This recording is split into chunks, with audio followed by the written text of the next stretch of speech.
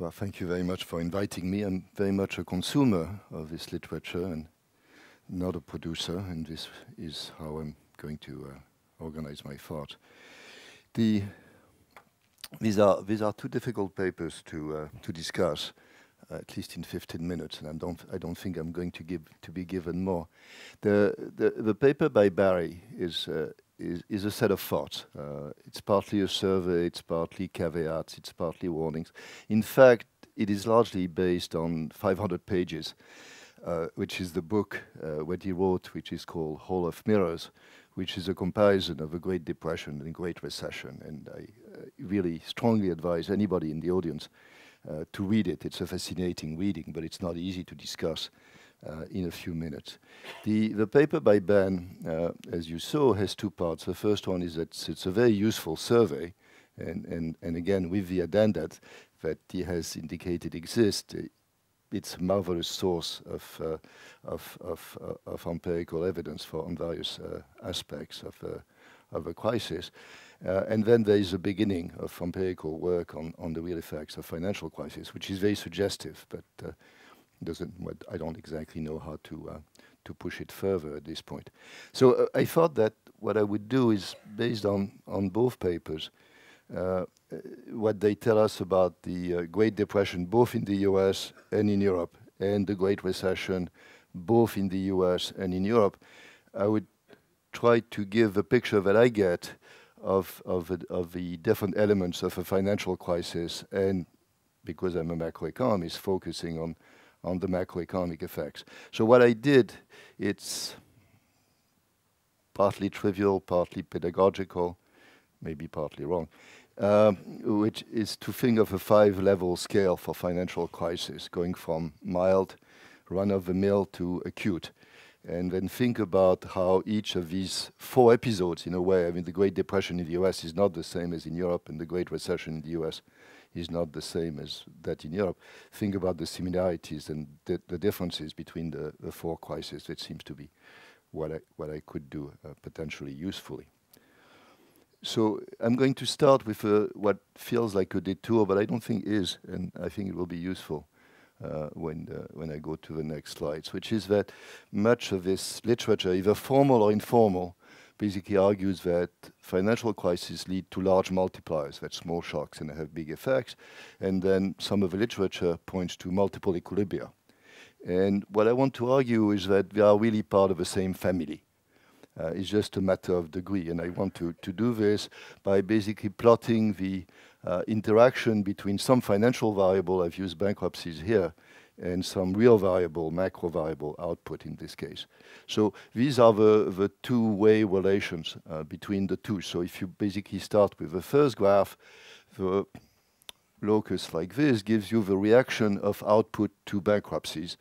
And you start at the beginning, if there are just a few bankruptcies, then the effect on output is small, but as bankruptcies become more and more important, then the effect on output uh, is stronger and stronger, and therefore the, uh, the, the, the, the, reaction function is, is concave. Uh, the other way, if you start with output and you look at the effect on bankruptcies, which is this line, uh, a few bankruptcies is not a big deal, but when you start getting you know chains of bankruptcies, then the effect on output can be fairly catastrophic. So it is convex. Okay. So we start, I think, in many of these, uh, many of the mechanisms I'm going to talk about, we start with these two curves. Now, what this says is if you have a small shock, so say for some reason you have more bankruptcies at a given level of output because there's a housing burst or something like this, right? The effect on output is going to be very small, and multiplier is going to be small. Okay. If the shock is larger, or you start from a position which was already not great, then the effect of the same shift is going to be stronger because of the slope here is stronger, is stronger than here. So the more basically, the bigger the shock, the stronger the multiplier, and or the worse the initial position, uh, the, the, the, bigger the multiplier. Uh, and then at some stage, you can see that what happens is that we shift to uh, the, the, the, the, graph on, on the right, which is that at some stage, these two start crossing again. So if things are really very bad, not only do you get if you stay with the same equilibrium, you go from D to D prime, and you get a fairly strong multiplier. But there is now the possibility, when you shift from the, uh, thick line to the thin line, that there is another equilibrium, D double prime. And I think much of what we see depends on you know how big the shock is, the initial position, and so on. So with this in mind, let me move on. So five steps. It's going to be absolutely familiar to all of you. I'm going to start with some adverse shock to some asset price, so a decrease in housing, which was the case in, in the US, uh, Spain, Ireland. Okay. Level one is uh, that there is an effect on the balance sheets of the borrowers, so they have worse balance sheet. Uh, collateral they have is lower valued, therefore they borrow less. If they borrow less, then there is less spending, there is lower output, and this makes the, the balance sheet worse, and so you get the two-way relation. But in this case, the multipliers are, are fairly moderate. In, in, normal times, you have these two-way interactions. It's not the end of the world. Depends on initial leverage. If it's not too bad, then the effect is very small. And that's what we, we saw with the high-tech bubble burst, which is there was not much leverage for the people involved, not much effect on the economy. And that's easy to integrate in standard models. And so this predates the, the, the, crisis. It was done. It gives an amplification mechanism, but we thought, okay, that's one more, no big deal. The second step is the same thing, but on the lender's side. And again, all this is totally familiar, which is that as a result of a shock, they have worse balance sheet, they have lower capital, therefore they cut lending. Lower lending leads to less spending, lower output, worse balance sheet, and then you get uh, a similar effect as before, except that what you get is that the multipliers are now much stronger because of the leverage of the financial intermediaries is substantially higher than that of the borrower. So you start getting fairly big effects, you get multipliers. Uh, it's still, I mean, as long as the amplification mechanism is not too strong, it's just more amplification, but not, not the end of the world. And, and again, I mean, the, the example there is that we saw the effect of housing, US, Spain, Ireland, and then what uh, Ben mentioned, which is the effect on German banks, which were holding uh, claims on, on US uh, uh, subprimes. Okay. So one and two, I would not call mundane, but tractable. Then what we talked about a lot yesterday, which is when basically there's an effect on the liability side of the financial intermediaries, which are the, the runs, the sudden stops, the rollover crisis, the interbank market freeze. And we know that that can happen on its own, but typically it doesn't happen on its own. There's some doubt about solvency, and there's, I think, a lot of Knightian uncertainty at play. And you saw people worried about solvency basically run out, and this creates a liquidity crisis. And then we know the effect, which is there's a run on liabilities, fire sales, less lending. Less lending leads to less spending, lower output, worse balance sheet. And then the multipliers can become extremely large. And then we get into the region of multiple equilibria at some point. Uh, and then it becomes uh, a much more serious thing. So what determines whether we get to that level, uh, the number of institutions that were actually discussed yesterday, uh, the role of a lender of last resort is clearly very important, and there, there is a big difference that Barry emphasizes in his, in his book about the Great Depression therefore the Great Recession, which is that in Europe, the rule of lender of last resort was really not used uh, because the banks thought that they could not use it, and that made an enormous difference. And then the implicit guarantees, deposit insurance, and so on, which basically determines whether this happens. So these are the three levels that, that Ben focuses on uh, in his presentation. Uh, in fact, I think there are two more levels, although I think for the US you could stop there. But for uh, Europe and in general, I think then you get uh, two more levels, maybe 4A and 4B rather than 4 and 5, but that's a semantic issue. Okay. So then you get the interaction between the state and the financial institutions. And again, we've, uh, we've been fairly creative in using words.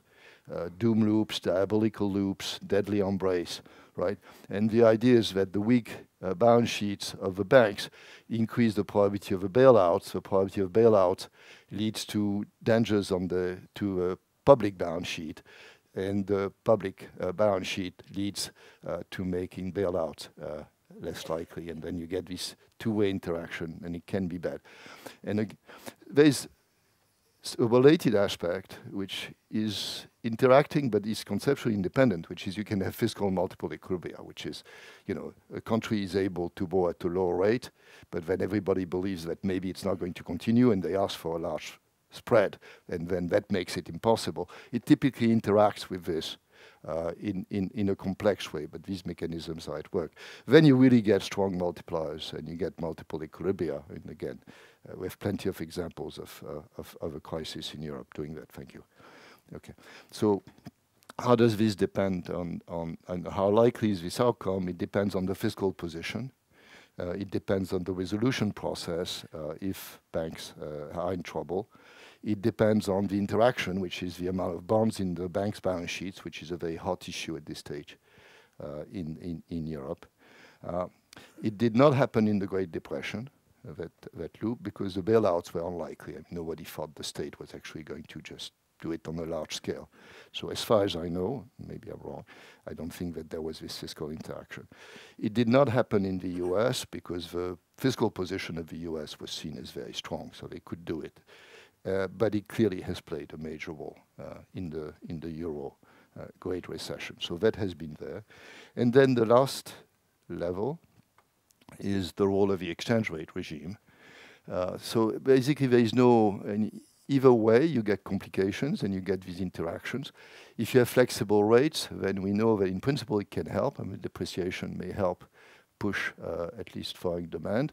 So you get usual positive effect, not on domestic demand, sorry, on, on, on, on, on foreign demand, therefore.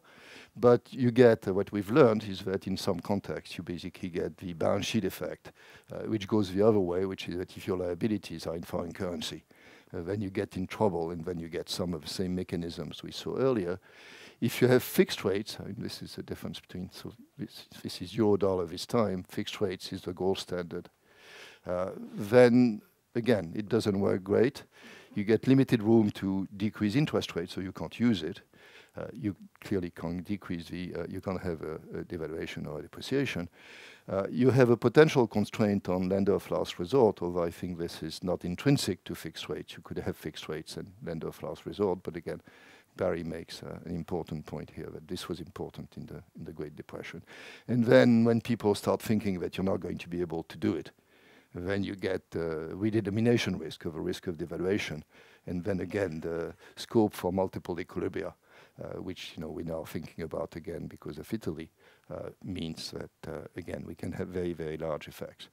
So how relevant was all this for these different episodes? Well, irrelevant for the U.S. Great Recession, and uh, as we know, uh, when things really went bad in the U.S., money actually came back to the US because it was seen as a safe haven, which was a bit paradoxical, but uh, eh, you know, eliminated this problem for the US.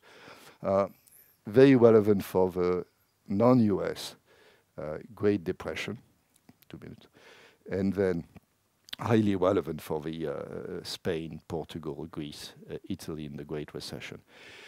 So I think these are the five steps. They don't always come. Uh, financial crisis we saw yesterday are a combination of all these things, and sometimes you know some some are and some are not.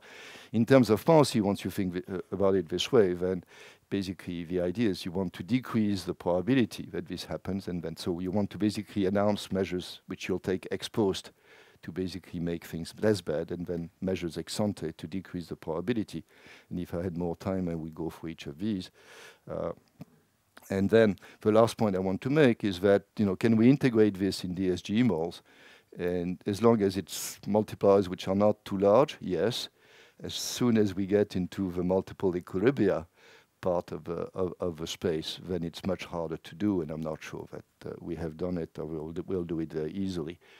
Given the time, what I was going to do was actually to look at the numbers from Ben and show how uh, the, the, you could basically using his graph tell the story. But he has done it well, and I don't have time, so I'm going to stop here.